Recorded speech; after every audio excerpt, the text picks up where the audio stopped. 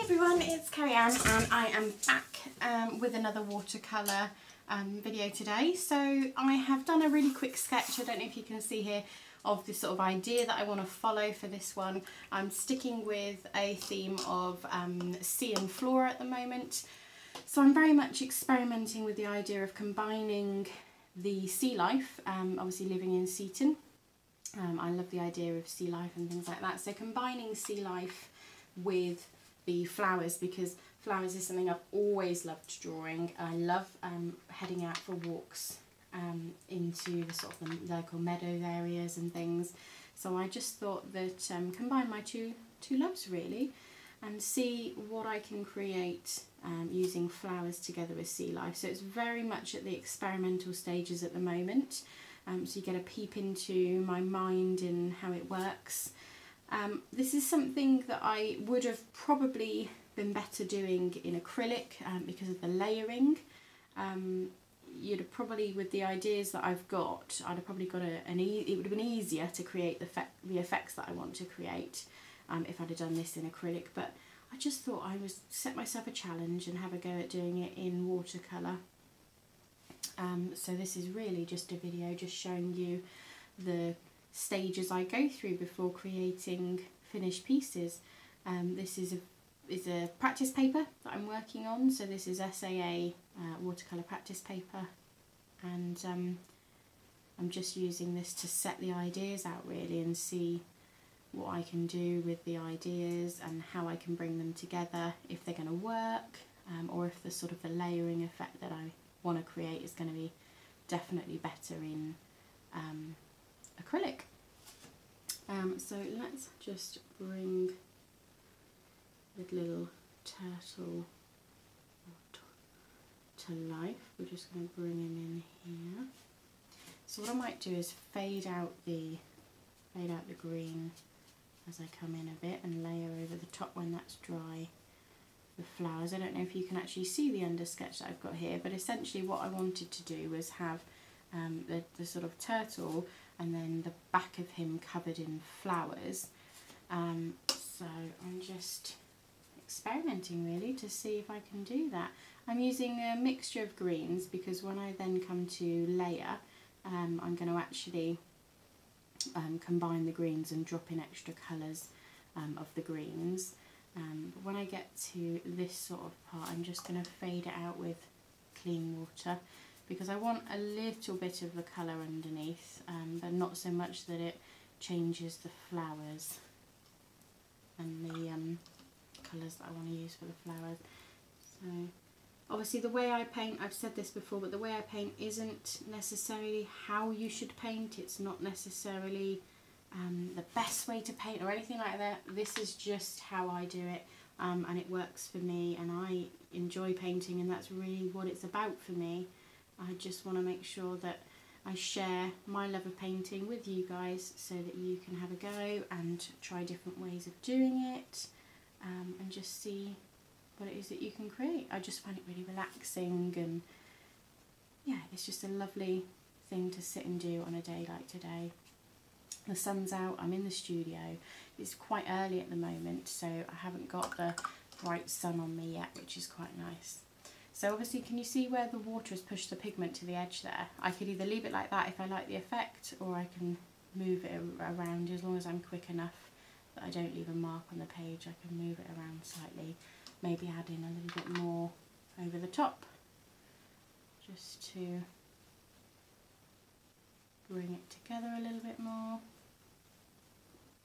Okay, I'm just going to leave that like that for now and because the flowers will probably come up here it will break off this part where it's a bit too connected for me. So let's bring some more green down here. So I'm doing um, wet on dry for this at the moment. Sometimes I work wet in wet when I want the colours to sort of flow. Um, but at the moment for this early sketch idea just really getting the colour down just to be really quick to see if this idea is going to come together or not. I'm using a size 10 brush at the moment, so quite a big brush really um, for, for what I'm using. Usually I work in a 6 or a 2, um, but I'm using a bigger brush just to get the colour down at the moment.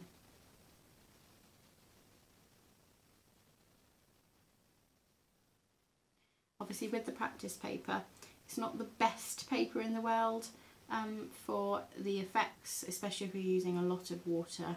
It, it doesn't like to be completely drenched. Um, so obviously when I come to you do my final piece, um, if I like the idea, then I'll probably use um, a better paper, maybe a Sanford's or something like that, Bockingford possibly. Um, it's good for certain pieces, but, but certainly not the best paper that I've come across. So I'm just bleaching that out now, bringing it that way. Bring it that way, it bleaches out a bit. I quite like the texture effects that you get when you um, start to move it around. It looks good for the skin of the so what I would need to do now is let it dry. So if I was doing this properly, I would let that dry completely because what I wouldn't want to do is start bringing colours here onto this where it's still damp because they'll bleed out too much. Um, but for, for the sake of being a sketch and for the sake of this just being a quick little video, um, I think what I'll do is I'll just start with the flowers in the centre and, and hope um, that we can um, let it dry enough to be able to start working up here. So again, I've got no real plan yet as to the colour palette that I'm going to work in. So what I usually do is start swatching the colours to the side of the painting. Um, so up here um, or down here, write the names of them so I remember what I'm working with. Um, and then I will remember which colours I liked and which went well together um, and which didn't. Um, but just for now I'm just going to use a cadmium red and a cadmium yellow just to give myself an orange. I'm just going to create some little flowers here. And I'm just pulling around. And uh, if you've watched my videos before, um, or if you're familiar with watercolours, you'll know that obviously the colours that you see here when they're wet um, lighten up usually uh, when it dries. So, but if you see the colours and you think, oh, they're really, really bright, um, they will lighten up slightly when the watercolour dries. So just playing around with the idea of some petal shapes. Obviously, I've got the ability to go back and fill up some gaps as well, so I don't want to do too much straight away. I'm going to go back to the big brush now. I'm just going to create a, a pinky shade, I think. Let's see, see what shade we can create with a bit of, bit of this one. So this one's going to be permanent rose. Let's see if we can start to build a, a rose on this side. So this is probably not the colours that I'll use in the final piece. And obviously I will add my overlay as well, so that will add a, a different effect. Can you see where I haven't let it dry enough, it starts bleeding in? So some people like that effect, um, some people don't. It's very much a personal thing. So I'm actually happy with how that's come together. I quite like the way that's worked there. So I'm going to use a bit more of the pigment and just bring it in slightly so it's darker and I'm just going to add another one of these rose shapes up here. A bit more water just to help it flow around a bit more. When I get to here I'm going to leave gaps because I don't want those flowing into each other at the moment. I might change my mind, who knows. So where I've left the white, that's to help create the effect of the sort of rose shape. Um, what I might come back and do is, is bring in some water later so that it's not quite white behind, it's a different shade. I, I'm deciding as I go at the moment. As I say, this is a very, very new idea. So what I want next is maybe a purpley shade. I'm not sure thinking of adding something that's going slightly up there, but I'm well aware that it's still quite damp, so I'm not sure yet. That's too blue, so let's bring in a bit more of the red to make that more of a purpley shade. So hopefully it's quite a luscious purple, so let's see. Yes, that one will work. So what I'm doing here is doing sort of like um, marks that I'd make if it was lavender. Can you see how that purple lightens up? So as, see if I can have a few pieces. So when I come and do the pen overlay, you'll get the idea of, of where this lavender starts to come together. So I've done a few pieces going that way. I think I might have one going that way as well.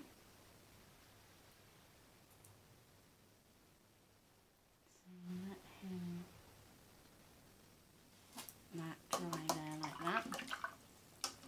So when I come to sort of filling the gaps is also when I start thinking about what colours I want next to each other. So I quite like this purple um, being next to this pink here, so I might do some more um, purpley colour over here. Um, I think a yellow, a nice bright yellow might, might work here. So let's try something like, so obviously those are going to be bigger and I've got the purple bleeding into there I don't mind too much about that let's see if we are going to pull this together to make it have extra little petals. So it's more like a dahlia than it is um, another one of these here let's see. Could have been a sunflower couldn't it? I could have done it as a sunflower. Let's add another one here. Obviously this is the base colour. So when I start adding my fine liner that's when I start sort of showing what the flowers might be. If I want them to be abstract flowers that's fine but if I want to make them more lifelike, more um, relevant to actual flowers then I've got that opportunity when I add the fine liner layer. So I'm going to take a little bit of that purple out from the yellow there And I'm just going to bring a bit more of the yellow onto there. Now I don't mind the colours coming in too much, it's just that I didn't want it to be completely blended together. So let's add another yellow here I think. You'll see I use white space quite a bit um, just to help define what, what it is that I'm working on. I'm quite happy with those three like that.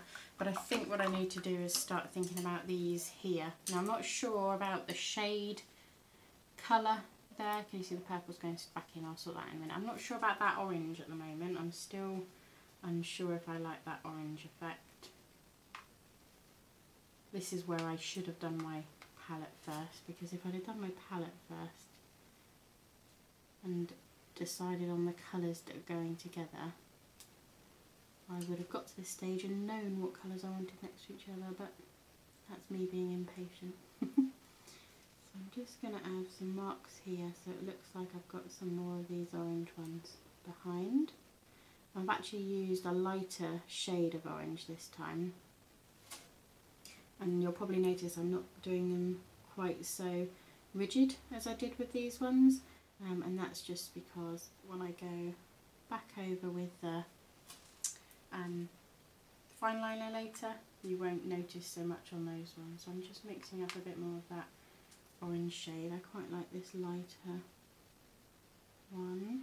Dropping in a bit of the darker so they don't look too different. So let's add a bit more of the orange over here.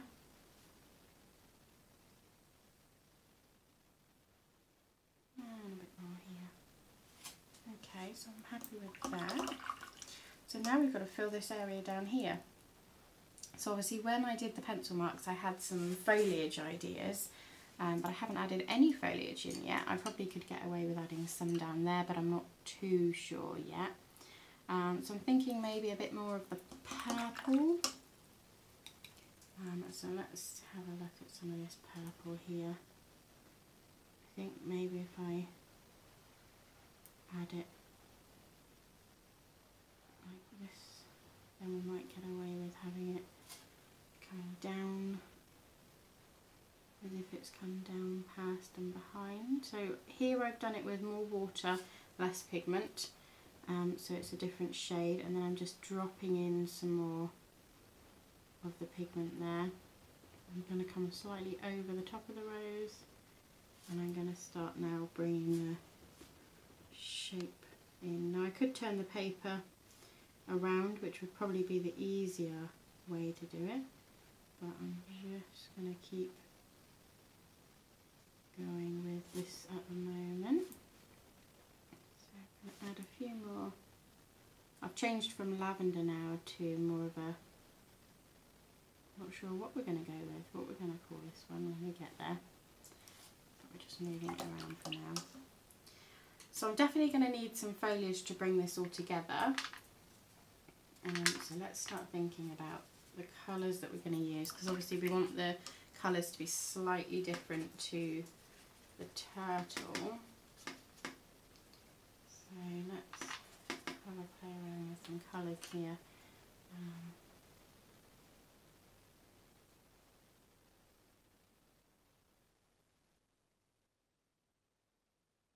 again, this foliage is just experiment with which styles of foliage are going to work better. So I'm just putting it in quite light to begin with. And if I want to come back in and make it darker, and I can do in here, then I can do that. Drop in a bit more colour. I think it's going to need a little bit here.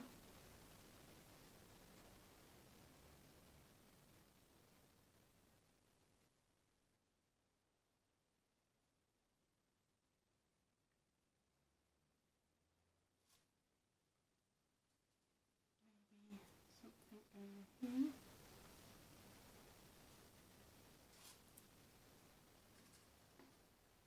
Not sure I like this bit here, I might change that. I'm going to definitely bring some more foliage down here.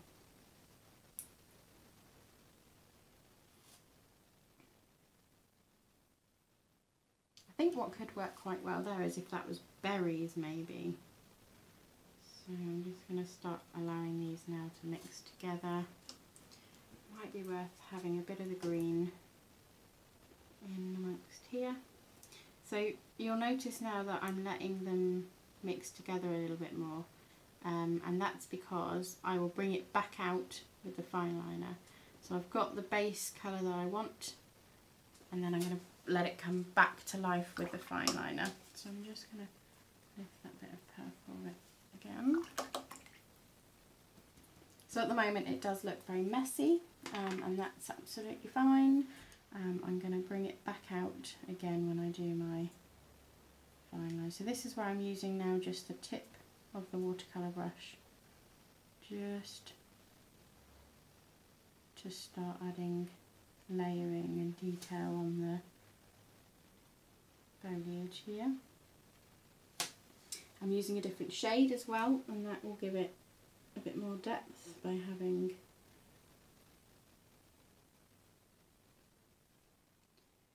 Oh, I'm wondering about adding a few little berries in. Oh, I don't know yet. Let's see. Let's keep going. Building it up. I definitely need to get some more greens.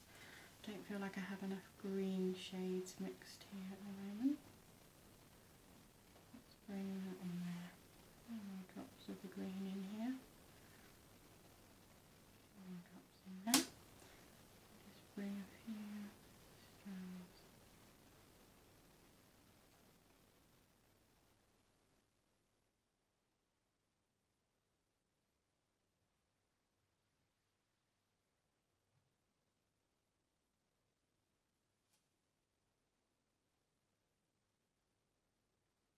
Gone quiet again, haven't I? Concentrating and deciding if I'm liking the way this is turning out.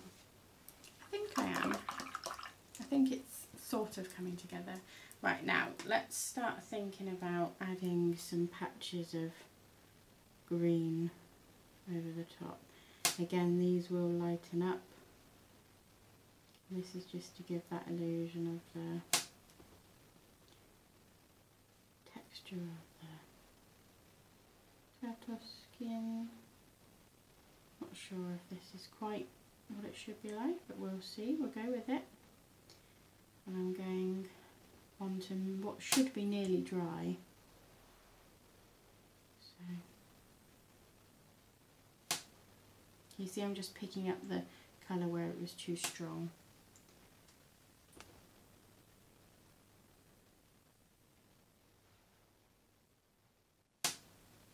Hopefully you can start to see the idea come to life now where I was going with this whole um, sea life and flowers. I always get to this stage and I think, oh, I hate it, stop.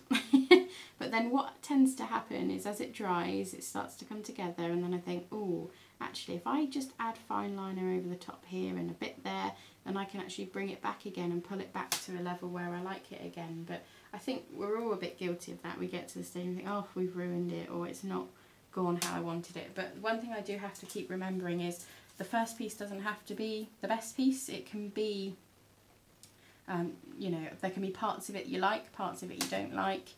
Um, and you can just try and not think that every piece that you create um, has to be that final piece. And I, I think that's a lesson that we all kind of should take on board really, at every level that we work at.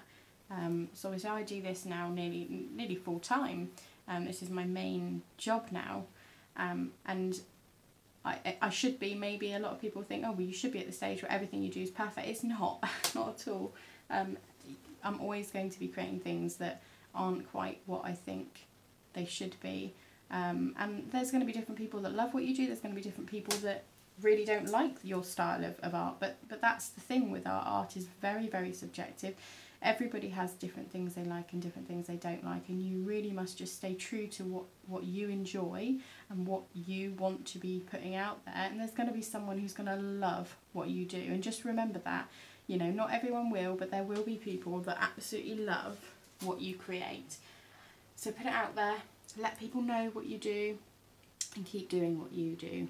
And find your own style because it will be worth it in the end um, if you just keep putting it out there I'd say.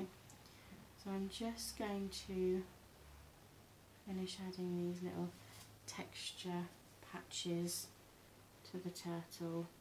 And this is all lightening up now so you'll start to see how he's coming together. And hopefully you're getting a rough idea now of what it is that I'm doing and I will finish the video in a second um, let this dry and then I'll add the fine liner overlay and maybe I'll do a video of the fine liner overlay as well so you get a bit of an idea of, of why I do that and what I do with the fine liner overlay and obviously then I'll add a link to the finished picture as well.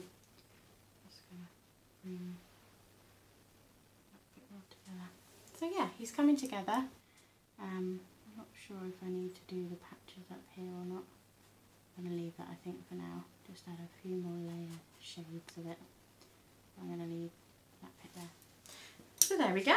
The start of my Florna